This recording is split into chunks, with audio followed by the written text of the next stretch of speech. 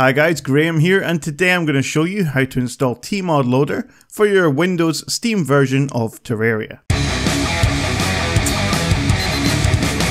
Fat Pikachu! Now okay guys, so just before we get started, I would recommend before making any changes to the Terraria version of your PC, to back everything up. That's your worlds, your characters, and even your Terraria folder within Steam. If you're not sure how to do that, then you can click on the link which will appear on your screen now, and that will show you then how to do that.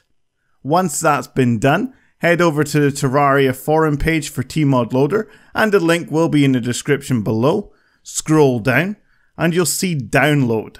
We're using Windows, so we're going to click on Windows, and that will then download the Tmod Loader folder into your Downloads folder. Head over there, which I've got right here, and you'll see this folder here. Now I'm going to use something called 7zip or 7zip to extract it, but there are other programs such as WinRAR, um, which is quite a common one as well. But I believe with Windows 10, which is what I'm using, 7zip comes by default. So all you need to do is right click on that folder, go to 7zip or WinRAR, and then extract to the folder name like so. What that'll do is it'll extract it into a regular folder that's non-zipped, and you'll see it has several different files within it. Now what you need to do is copy all of those files.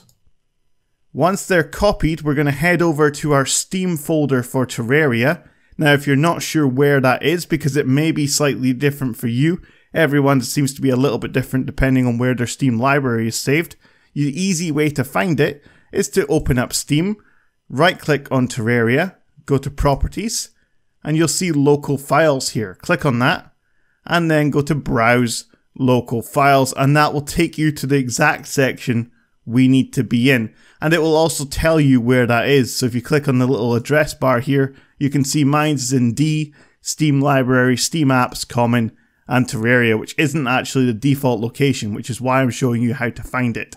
So once you've gone in here, simply paste the files you copied earlier from within that tmod loader folder like so. And you may get this warning saying that this file already exists, that's fine, just go to replace the files in the destination. Once that's done, simply load up Terraria. Okay, once in Terraria you should see some changes now, you'll see mods, mod sources, and mod browser. Now depending on what mod you want to download, all you need to do is head over into mod browser. It'll take you to the section where it shows you all the different mods for Terraria if you can't find it within the list, you can just go up to type to search, and for example, if we wanted to install Thorium, we could do that there by typing in THOR, and then you'd have an install section here. Mine is already downloaded, so I, I have update, but you will have install, and that's how easy it is to install the mods.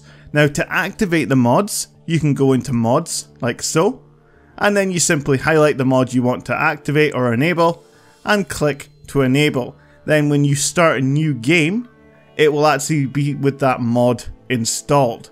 The one thing to note guys, that your characters from the vanilla version of Terraria, that's the non-modded version, will not appear on this version. You have to copy them across and let me show you how to do that. So if we go over here and go into documents, I'll just go in there right now. You'll see here my games, go into that turn and Terraria from within there. Now this is actually where you store your players and worlds as you can see right there. But we now have a folder called mod loader. So if you open that up, you'll see there's also players and worlds and they contain all the different players that you've created if you have created any within your modded version of Terraria. So all you need to do is copy them across from this player and worlds folder into this one. Don't cut them don't drag them, just copy them across like I showed you earlier by right clicking and copy. That way you know they're still safe.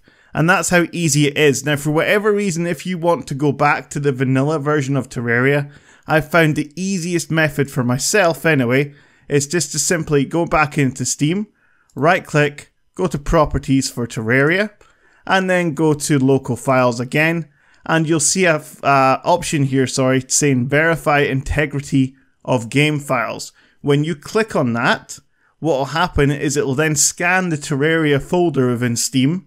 It'll recognize that you've made changes and it will just revert them back to the way they were before, uninstalling the mods. And that's how easy it is, guys. Now, again, back up the players, back up your worlds if you don't want to lose them.